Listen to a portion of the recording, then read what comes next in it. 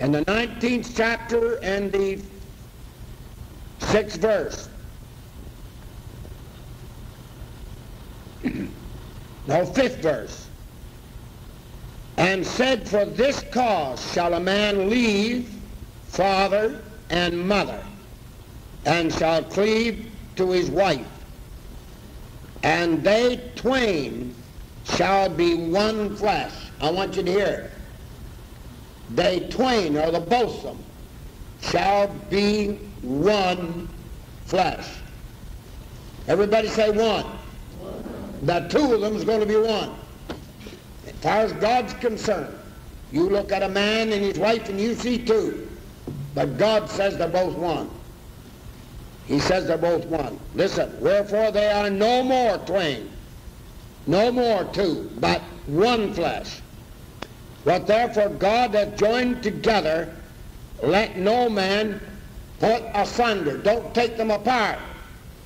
Amen. When God puts them two and makes them one, no man take them apart. Now I said I'm going to use a text, a, a text out of a context. Amen. And uh, so that's that. Praise God. In the fifth chapter of Ephesians 31, and we have put in here the same thing again. Now we lay a foundation and then we'll go from there. And you'll understand where I'm going after a bit. Ephesians 5, I think, and 31. Praise the dear Lord. And this is talking about a man and his wife too. All right. Listen. For this cause shall a man leave his father and mother, and they shall be joined unto his wife, and they two shall be one flesh. Two shall be one. There you got it again.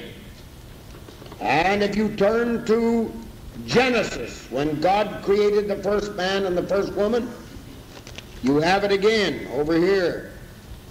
And it is uh, Genesis 2.24, thank you. Therefore shall a man leave his father and mother and shall cleave unto his wife, and they shall be one flesh. Now that answers the question. Then two shall be one flesh. Now you got that, haven't you? That's, that's you got that all figured out.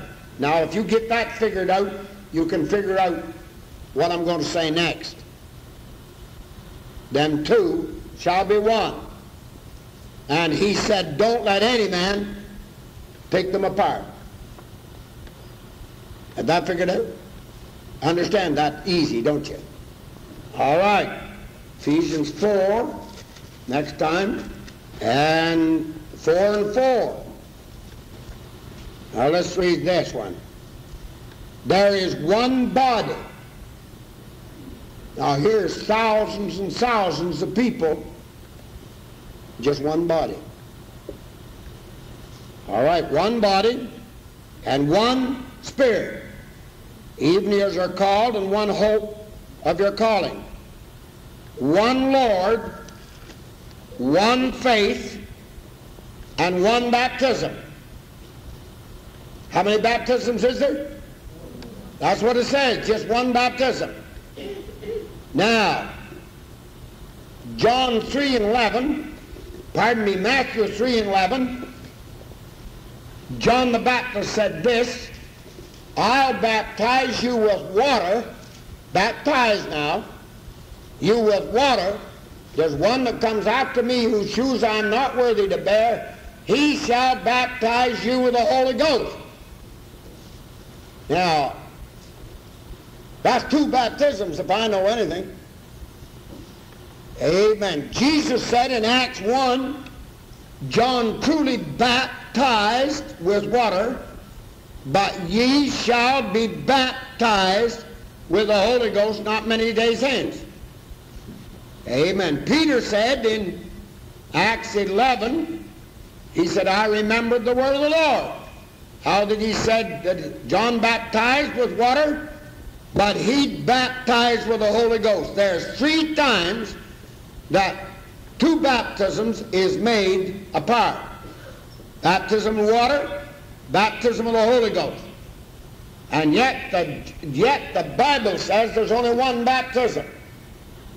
There's only one way in this dear world of ours, and in the light of what I've read to you tonight, and in the company of his people, there's only one way you can figure that out. And that's figured out this way. God, when he put them together, he put water baptism and the baptism of the Holy Ghost as one, not two. And did you hear what I said? He said, talking about the man and his wife, he said the one. Both man and wife is one. And let no man take them apart or put them sunder. And I'm going to say that I don't believe that any preacher should take these experiences apart either. They do. Sometimes they say, well, some churches and some congregations, they make a little ado about the baptism of the Holy Ghost. Wonderful to get the baptism. But to be baptized in Jesus' name, it don't make too much difference. And then you got it on the other side again, on the left side, you got it, you get you baptized in Jesus' name, and they say, there now, we'll baptize you in Jesus' name this fall. Well, you come to the altar this fall, we'll baptize you next spring, and go to Harvey and get the Holy Ghost. That isn't the way it's supposed to be, neighbor.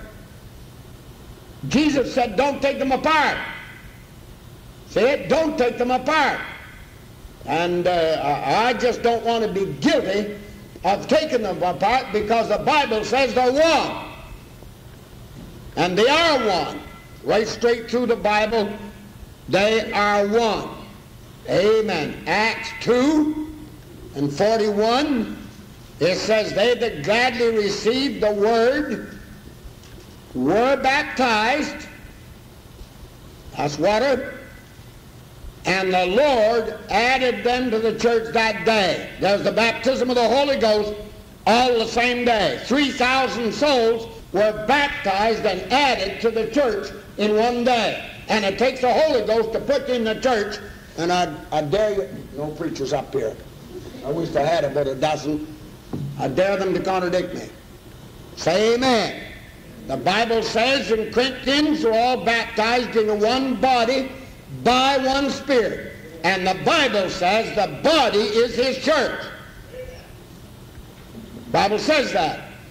Now you can fuss a little bit about the bride if you want to. Just fuss a little bit. I'll go along with it.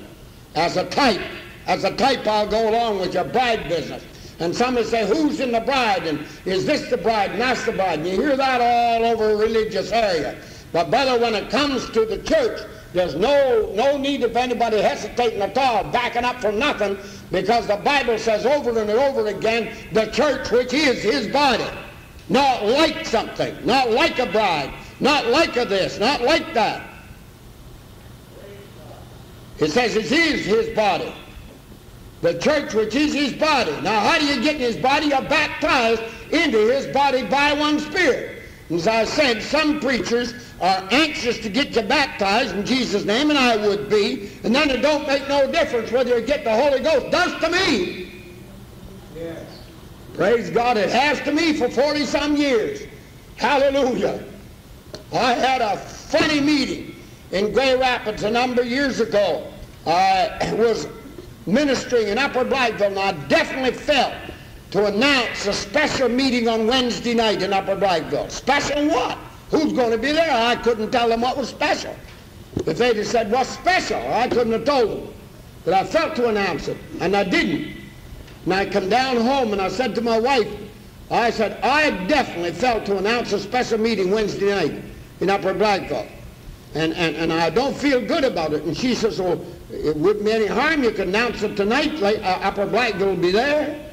She said, announce it tonight. So when I come behind the platform, made the announcements again, I announced it. Wednesday night, a special service in Upper Blackville.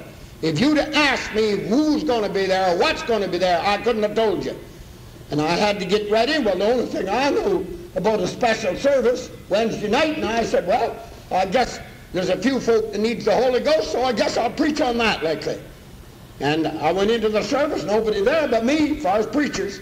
And I, I had the service. And in the service, a man and his wife walked in, and I hadn't seen him since he was a young fella. And I looked down at the Chessy Cat grin on, and I said, you're not fooling me. Amen. And I said, I'm glad to see you. I haven't seen you since you was a young fella. Growed up, married in the army, and living up in Ontario, and dropped into our Upper Blackville meeting. So I went on and preached on the baptism of the Holy Ghost to these folk uh, in Blackville that didn't have the Holy Ghost. Give the altar call, and a Peterson fella, big burly fella, come and knelt down right here, and Gerald come and knelt down alongside of him. And I prayed with this Peterson fellow, and God filled him with the Holy Ghost just in a few minutes, and there he was, I fluently talking tongues, and I said, uh, pardon me, I said Gerald, it isn't, it's Eugene. There's two brothers. I got them mixed up. And I said, Eugene, put your hands up. I said, here's a man talking in tongues right alongside you. He threw up his hands, in a few minutes God filled him. I looked down, and his wife was down here, and I said, Sister, I said, here's your hubby over here talking in tongues, and I said, there's a place for you over here. And up to the altar she come. Then I went down and I put my arm around him and I said, Eugene, your wife's at the other end of the altar. Go over and tell her it's real. And it is real, Chandler. It's real. It's realer than your chicken supper. Oh, yes, real. Praise God. They might have give you pork fixed up, but brother, this isn't something fixed up. It's real. And so anyhow, he come over and put his arm around his wife, and he said, that's real, dear. That's real. That's real. And a few minutes, is filled with the Holy Ghost. You see about the special meeting? And so after the meeting was all over, I went over and shook his hand, and I said, God bless you, Eugene. And he said, you know something? The church that I go to in Ontario, he said, it's not necessary you get the Holy Ghost. I said, the church that you go to in Ontario has cheated you out of the best thing that God has for you this side of heaven. And that's why I told the story. I told that story to tell you. Anybody says you don't need the Holy Ghost, they're a great big cheat. And if he's a preacher, God bless you, he's taking your tithes. You, you shouldn't tithes. I would give that fellow 10 cents in the offering. Tell you don't need the Holy Ghost. Amen. Say amen. amen. And so, you see, it, it, it is, praise God. And, and so they was added the same day. Acts 10, 44. Acts 10, 44, Peter preaching the Gentiles. Amen. While Peter was yet preaching, the Holy Ghost fell on them. Praise God. For they heard them speak with tongues and magnify God. Listen. Then Peter said, Can any man forbid water that these should not be baptized, which have received the Holy Ghost as well as we? You see old Peter put them both together as one. The Bible said, don't take them asunder. So he didn't. Amen. Here he is preaching. They received the Holy Ghost and talked in tongues while he was preaching. Then he called a water baptism. Because old Peter believed they both went together or they was both as one. Come on. See? So you got it Acts 2, you got it that way. Acts 10, 44, you got it that way. Acts 10, Acts 19, 5 to 6. Paul came to certain disciples and he said unto them, Did you receive the Holy Ghost since you believed? They said, We didn't hear whether we any Holy Ghost. He said, How was you baptized? He didn't say, Was you baptized? He said, How? See, some people daren't say that today. How was you baptized? No, no, no. But I'd like to know how you was baptized. If you wasn't baptized in the name of Jesus by immersion, you wasn't baptized at all not Scripture. You say, well, I was immersed. God bless you. Many the old stream driver fell off a log on the Miramichi River and went clear under. He was immersed, and the bubbles come up. But that ain't baptism just because he was immersed. Amen. Yes, sir. And he said, how? And they said, with John's baptism.